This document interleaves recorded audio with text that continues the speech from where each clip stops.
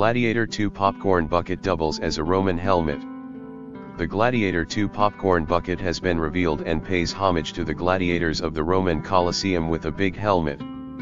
The new popcorn bucket was unveiled by Regal Movies on their Instagram page and is essentially just a popcorn bucket adorned with Roman iconography that has a large gladiator-style helmet on top of it.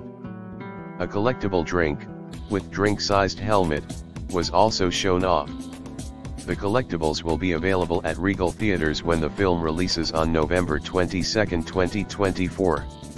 It's unclear just how limited the buckets and cups will be but given how popular the collectibles have become fans may want to make sure to get one early. Gladiator 2 is directed by Scott from a screenplay written by David Scarpa. Leading the film is Mescal as Lucius the son of Lucilla and Emperor Commodus' nephew. The character was originally portrayed by Spencer Treat Clark in the first installment.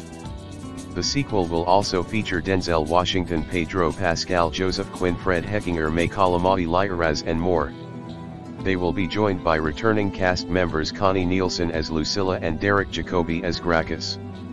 From legendary director Ridley Scott Gladiator 2 continues the epic saga of power intrigue and vengeance set in ancient Rome. Years after witnessing the death of the revered hero Maximus at the hands of his uncle Lucius, Paul Mescal, is forced to enter the Colosseum after his home is conquered by the tyrannical emperors who now lead Rome with an iron fist.